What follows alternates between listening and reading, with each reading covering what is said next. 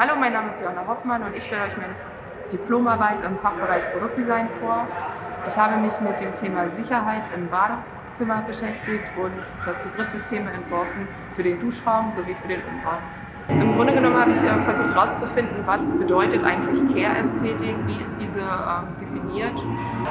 Und zwar einmal ist es die Hygiene und zum Zweiten ist es in Medizin. Also es ist einmal eine Art Medical Design, die da im Care Design passiert, sowie ein, ein zusätzlich aufgesetztes Hygienedesign aufgrund des Wohnraums Badezimmer. Ähm, und ich glaube, dass diese Art von Ästhetik oftmals Menschen abschreckt, da ähm, einfach die Assoziation Krankenhaus besteht. Also ich bin gebrechlich, ich funktioniere nicht mehr so und so ähm, und ich kann mich damit ident nicht identifizieren.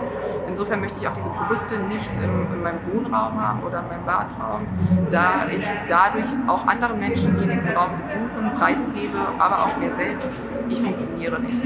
Genau. Und meine Lösung zu dieser Sache war, glaube ich, zu überlegen, okay, welche andere Ästhetiken sind vielleicht ähnlich, aber ein bisschen spornen vielleicht mehr an oder haben vielleicht mehr Spaß im, im, im Auftreten. Und für mich persönlich habe ich einfach irgendwann beschlossen, so mehr in eine sportlich modische äh, Ästhetik zu bedienen oder genau mich tatsächlich sehr von typischen Badästhetiken einfach zu lösen. Also es gibt bei mir kein Edelstahl, keine Silber-Chrom-Oberflächen oder sonst irgendwas, sondern es ist tatsächlich eher knallig bunt.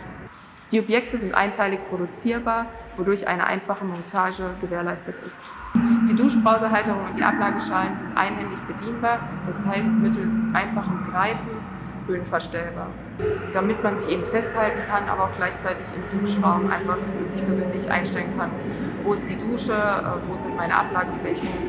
Ähm, das kann zum Beispiel variieren, wenn ich im Duschen sitze, muss die Ablagefläche weiter unten sein oder weiter oben.